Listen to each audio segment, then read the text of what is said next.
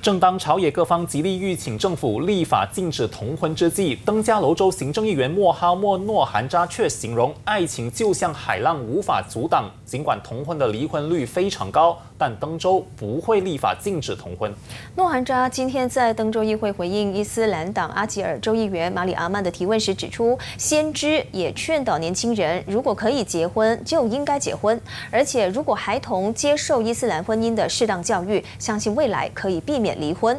另外，妇女家庭及社会发展部长俄罗斯里丽娜哈伦近期因为同婚课题成为了公正党领袖的剑靶。丽娜昨晚就发文告强调，妇女部还在致力于解决同婚原因，保障孩子的福利，同时批评有心人操弄同婚课题。